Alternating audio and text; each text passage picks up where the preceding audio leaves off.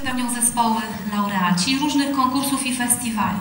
Może kogoś dziwić, że nadal śpiewamy repertuar kolendowy, choć okres śpiewania kolęd się już skończył. Wynika to z prostej przyczyny. Ostatnie konkursy, w których uczestniczyliśmy, dotyczyły kolęd i pastorałek. A pierwszy zespół, jaki mam zaszczyt zaprezentować, to zespół Koda. Stanowią go dziewczyny, które łączy szczególna pasja do śpiewu. Od blisko siedmiu lat ich poczynania artystyczne można było śledzić na wielu koncertach w Świnoujściu i nie tylko. Zespół założyły jako absolwentki dziecięcego zespołu wokalnego Dindon, które swoją karierę wokalną zaczynały w nim od w wieku 5-6 lat.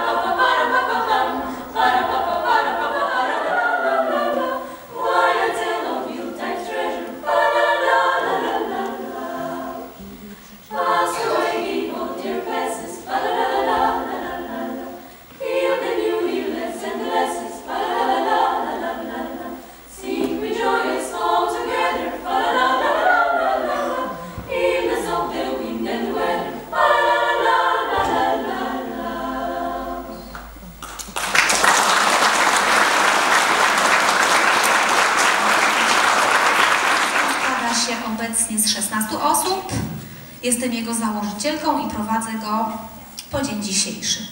A wszystko, czyli te wyjazdy na festiwale, konkursy, koncerty, może się zdarzyć dzięki ofiarnej współpracy rodziców.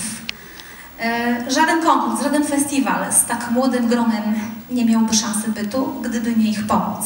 Zarówno finansowa, jak i pełne zaangażowanie i to z jakim entuzjazmem. W tym miejscu bardzo serdecznie dziękuję rodzicom i poproszę o wielkie brawa.